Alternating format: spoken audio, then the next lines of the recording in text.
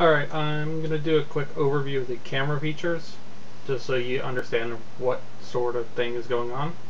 Uh, camera's located here, also camera.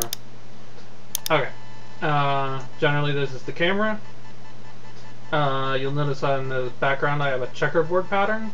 This is because the MeerK40t uses uh, OpenCV as a backend for the camera, and it uses this uh, 9x6 like this is one, two, three, four, five, six. It's these intersections.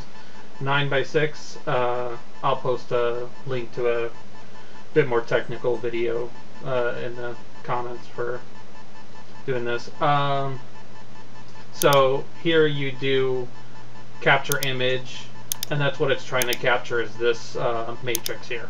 So say I pick this part up, the conditions.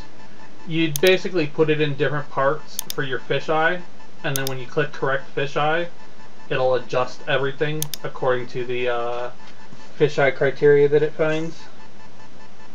So it will correct your fisheye with this uh, sort of document thing. I don't actually have fisheye, so it'll vaguely do it. Uh, come on. Just need a few more pictures. Yeah, uh, just keep trying correct fisheye and see if it like actually corrects it, or else you have to uh, start again. Here? Here? Here. Okay. Capture some more. Four images. Okay, so correct fisheye. Okay, that's actually sort of a disaster. Okay, and then there's correct perspective uh, with your mouse wheel you can zoom in and out and you'll notice that there's these little drag things. So let's say I wanted to zoom in on this little dongle. Say this dongle was the bed of my uh, laser and I zoom in like that and I say correct perspective.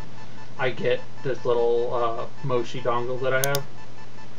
And then you basically you'd set these to the edges of your bed and even if it's a little bit wrong, it'll uh, correct things. So it's a perspective correction, so it fixes uh, some different angles, but not too many things. So if it's fairly close, uh, the correct perspective should do it, and then with correct fisheye as well. So you correct for the fisheye, and then once you've corrected for fisheye, then you correct for uh, perspective like that. And now you just get the zoomed in uh, double corrected thing. Uh, this wheel here thing is uh, frame rate. In case your camera's slow or something and you say you only want to capture one frame every couple seconds or however many. Or go 24 frames a second. Uh, export snapshot uh, will send a snapshot back here. So this is actually the image. Uh, if we stretch it in big, you can see uh, that's the image that I captured from my camera. Uh, if we do update image, this does the background image. So say uh, say I actually have this image here, and I put this uh, toilet paper here. Uh, don't worry about that grab select, it'll be there in 6.1.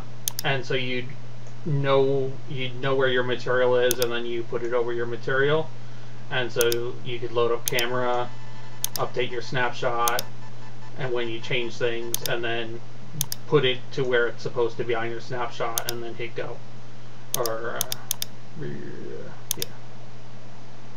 And so it will execute like that.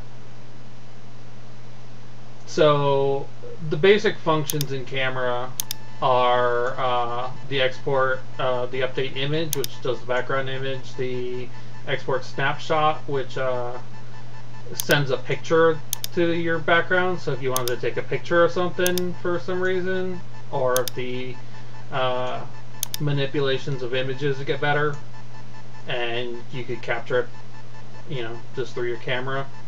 Uh, then detect distortions and calibration. That's only for the uh, checkerboard pattern. So it'll capture checkerboard pattern things and use that to fix your uh, fisheye. So we're starting again, correct fisheye.